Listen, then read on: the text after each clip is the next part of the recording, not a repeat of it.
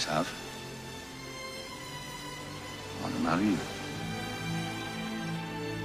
In a land of timeless beauty, William Wallace was a man of peace.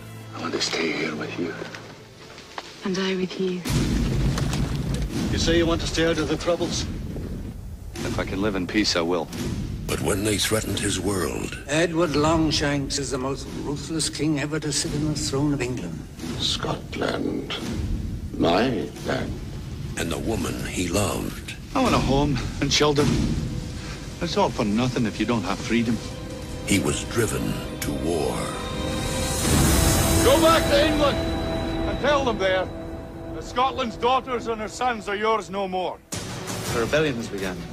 Under whom? William Wallace rallies new volunteers in every Scottish town. But come to fight and to die for you. Stand up, man. I'm not the Pope. Pick a flock of your finest assassins and set a meeting. My lord, Wallace is renowned for his ability to smell an ambush. We'll dispatch our future queen with the notion that she comes in peace. Longshanks desires peace. He declares it to me, I swear it. You tell your king, William Wallace will not be ruled, nor will any Scot will I live. He waits for you at York. If you are man enough to come and face him. Why do you help me? Because of the way you are looking at me now. Where are you going? I'm going to pick a fight. Well, we didn't get dressed up for nothing. We can't beat it out. We can't. And we will!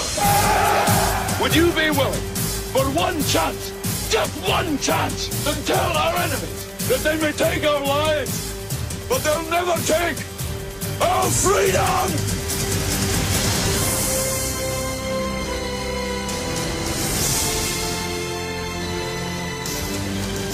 If we win, we'll have what none of us have ever had before.